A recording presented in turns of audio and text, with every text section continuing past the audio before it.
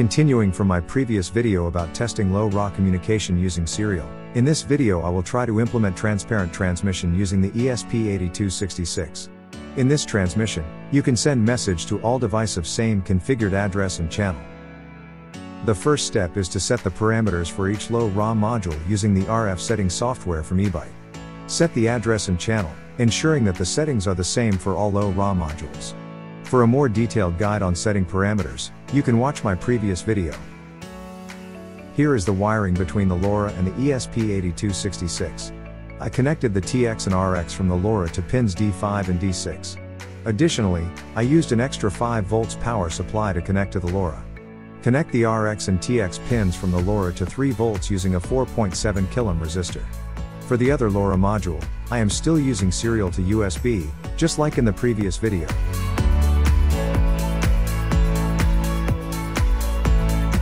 Here is the Arduino IDE code for reading and writing serial data to the LoRa using pins D5 and D6 on the ESP8266, and displaying the received messages on the serial monitor. Let's try sending and receiving messages from the serial monitor.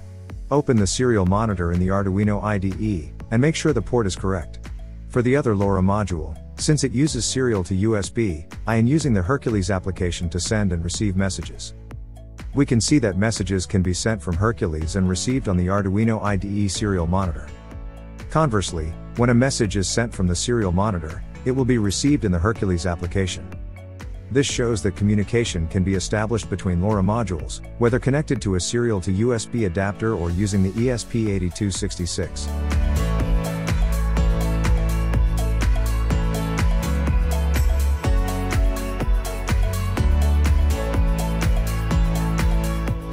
Next, I replaced the one connected to the serial adapter with another ESP8266, so now all the LoRa modules are connected to ESP8266. Now, let's test the communication between the LoRa modules connected to the ESP8266. Open two Arduino instances and open the serial monitor for each, ensuring they correspond to the ports of the ESP8266 connected to computer.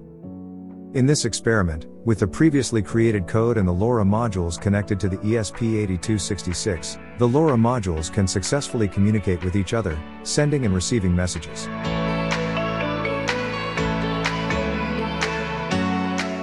Besides using simple code with the software serial library, we can also utilize the eByte E32 library to write Arduino IDE code for LoRa communication.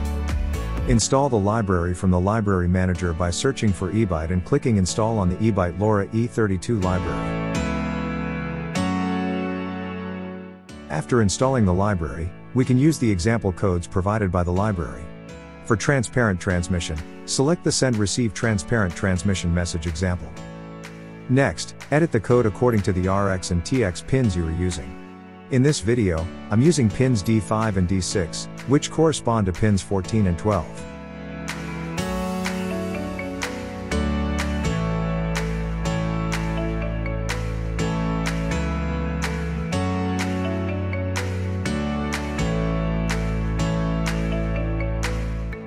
Next, upload the same code to all LoRa modules. Next, let's test the communication between the LoRa modules connected to the ESP8266 using the eByte E32 library. Open two Arduino instances and then open the serial monitor for each instance, corresponding to the ports of the ESP8266 connected to your computer. In this experiment, using the eByte E32 library, the LoRa modules can successfully communicate with each other, sending and receiving messages. However, it's true that writing the code without using the E32 library might be simpler in terms of programming complexity. In the next experiment, I'll add an LED to the setup.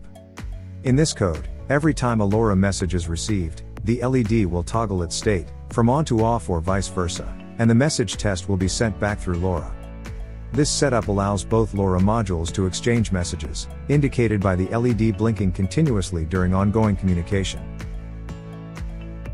Here is the wiring diagram for the ESP and LoRa with an added LED.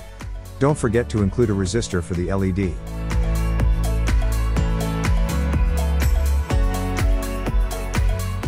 In the serial monitor, you'll observe that when one LoRa module sends a message, the other LoRa module receives it. Subsequently, the receiving module will toggle the status of its LED, turn it on or off, and then send a reply message, typically test. The first LoRa module will then receive this reply, toggle its LED, and send another test message. This continuous exchange demonstrates how messages can be sent continuously between LoRa modules without interruption, allowing you to test the sustained communication capabilities of the LoRa setup. In this experiment with the added LED, we can observe that communication between two LoRa modules using ESP8266 runs smoothly. Each time one LoRa module sends a message, the other module receives it, responds by toggling the LED status, and then sends a reply message. This process continues continuously, demonstrating stable communication capabilities between the two LoRa modules. With this setup, we can test how messages can be sent and received continuously without interruption in a LoRa network. This showcases significant potential in long-range communication applications using LoRa technology, especially when combined with microcontrollers like the ESP8266 for effective control and monitoring. Don't forget to like and subscribe. See you in the next video.